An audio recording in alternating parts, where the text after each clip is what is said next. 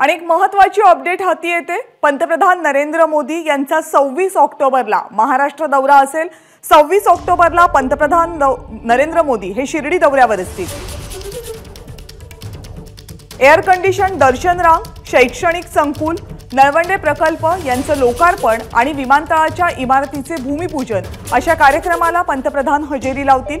महसूल मंत्री राधाकृष्ण विखे पाटील यांनी जिल्हा प्रशासनाची काल बैठक घेतली आणि या दौऱ्यादरम्यान चोख नियोजन करण्याच्या सूचना दिल्या.